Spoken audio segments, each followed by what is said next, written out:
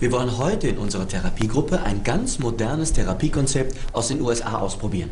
Und zwar geliebt wie nie durch Poesie.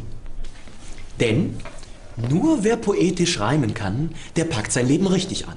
Drum lasst uns heute in unserer Runde nur Reime nehmen in den Munde.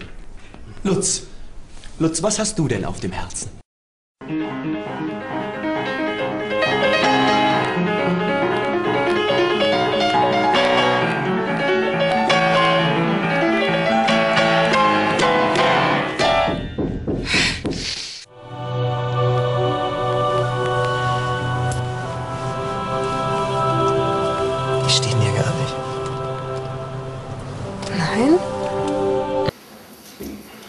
Schön das Arschloch.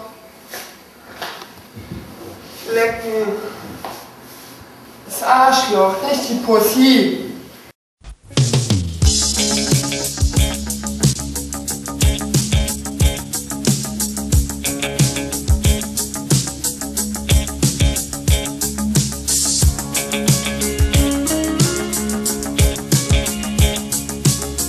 thank